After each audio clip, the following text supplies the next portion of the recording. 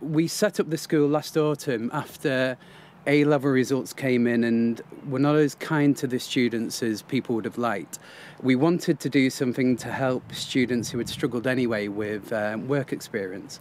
So we set up a five night course in the autumn. We had MPs, we had really major national journalists, we had government civil servants, uh, and of course us, and, um, and lawyers talking to kids uh, studying their A levels or degrees about how they could work in law, how they could work in journalism, how they could become an MP even, and it was um, it was really good. We're really proud of it, and it's lovely to get the recognition. Thank you, thank you. Um, and just to, to, add to that, this was all uh, Ian's idea. He deserves yeah. a lot of the, the, credit. But it was lovely to work with so many uh, parts of, of our organisation as all coming together um, and, and to be able to, to do that. And we enjoyed doing it so much, so it really means something to, to win an award for something like that. And as a shameful plug, you've really inspired us to do it again. So if you do have any sort of sixth form age or university age uh, children in your network who you think might fancy it, please do send them our way.